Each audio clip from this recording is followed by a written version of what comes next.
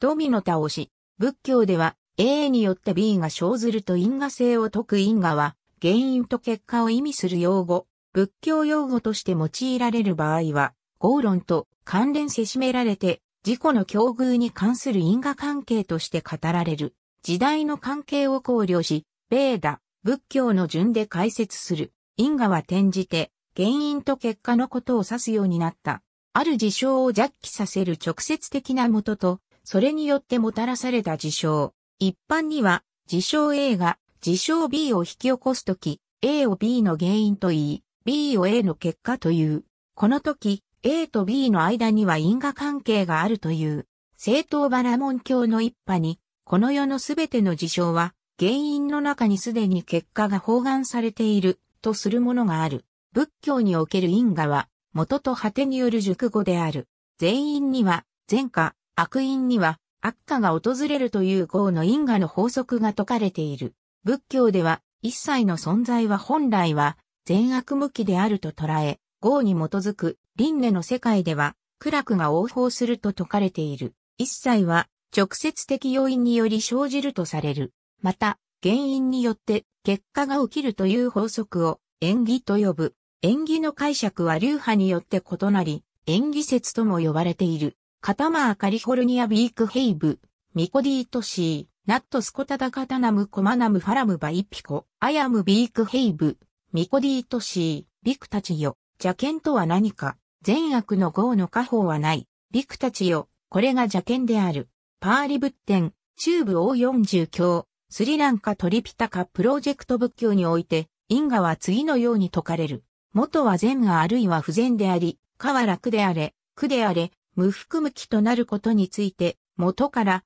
果てが異なって熟することを異熟化と呼ぶ。単純に全員落下、悪因苦化について、良いことをすれば良いことが起こり、悪いことをすれば悪いことが起こると解説される場合があるが、元と果ては数えきれないほどの過去における生を想定する概念であるために、その基準は複雑であり、根性のもとが根性で果てとなるとは限らない。また、良いことをすれば思い通りのことが起きるという独自な教えを説く団体もあるが、厳密には正確な解釈ではない。挿絵のついた過去現在因果行、過去現在因果行は5世紀にクナバツダラによって簡約された全4巻の仏伝経典で釈迦の前世の前行と現世での自責を記し、過去世に植えた全員は決して滅することなく、果てとなって現在に及ぶことを説いている。一切が自らの原因によって生じた結果や報いであるとする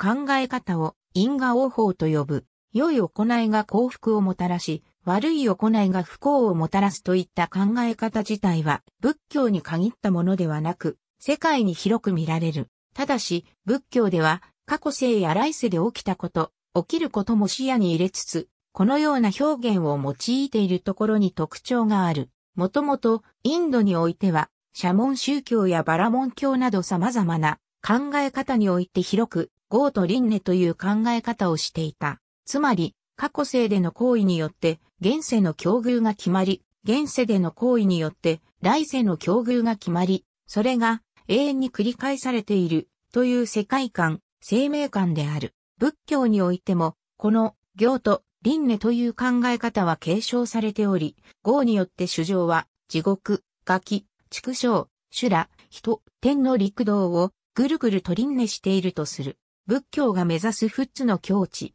悟りの世界というのは、この因果応報、陸道輪廻の領域を超えたところに開かれるものだと考えられた。修行によって悟ることができない人の場合は、善行を積むことで天界に生まれるのが良いとされた。因果応報の需要、編集インドではもともと行と輪廻の思想が広く行き渡っていたので、仏教の因果応報の考え方は最初から何ら違和感なく受容されていたが、それが他の地域においてもすんなりと受容されたかというと、必ずしもそうではない。中国ではもともと、駅境などで家単位で良い行いが家族に帰ってくるといった思想はあった。だが、これは現世の話であり、家族、親族の間でそのような影響があるという考え方である。輪廻という考え方をしていたわけではないので、個人の善悪が現世を超えて来世にも影響するという考え方には違和感を覚える人たちが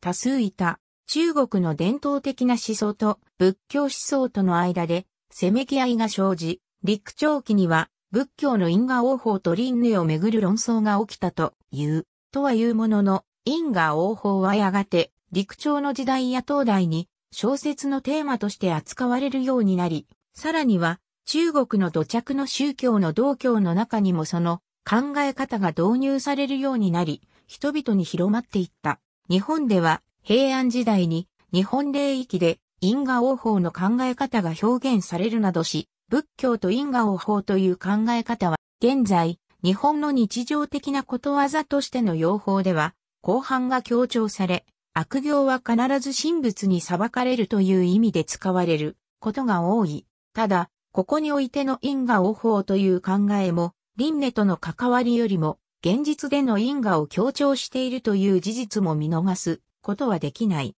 丸山勇、ブッダの旅、岩波書店、岩波新書、2007年4月20日、189から192ページ。ISBN 978から40億431万723。三草光義、因果日本大百科全書、小学館、因果から、世界大百科辞典、第2版、平凡社、AB アルボムレスマナサーラ2014、ナンバー91、359、概要、湯行と総員の建設と産業の形成から、中央学術研究所起用モノグラフ編ナンバー14。ありがとうございます。